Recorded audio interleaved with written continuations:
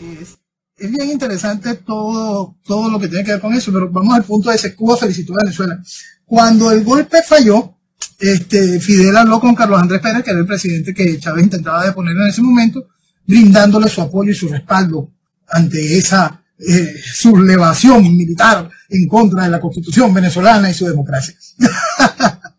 bueno, por supuesto, todo eso era parte del show, ya Fidel había, eh, por supuesto, continuado con la destrucción de Venezuela en todos los sentidos, y él mismo había planificado toda la secuencia de 1989 de lo que fue conocido como el Caracazo.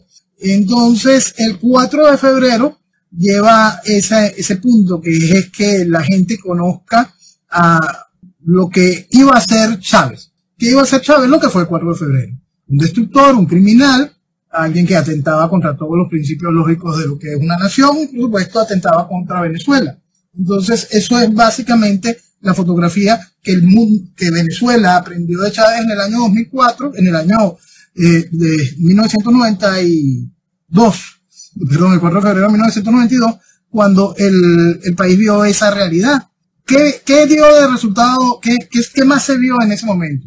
También se ve en lo que sucede en la segunda intentona ese mismo año, el 27 de noviembre, que el país no participó. El país no siguió a Chávez. El país no siguió ese proceso. El país no le gustó lo que veía. El país sintió rechazo, repudio ante eso. Pero los medios de comunicación lo hicieron.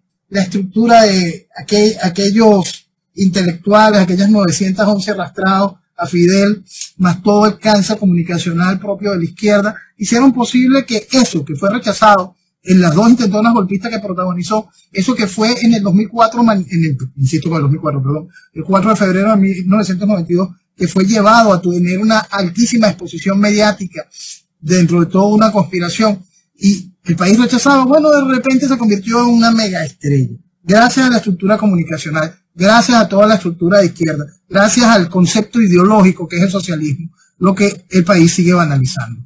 Lo cierto es que hoy es 4 de febrero, se conmemora de nuevo esta, esa trágica fecha, una fecha donde el país entró en, un sueño profundo, ¿no? Donde la intelectualidad venezolana se enamoró de, un comunista que prometía destruir a Venezuela y lo cumplió, pues.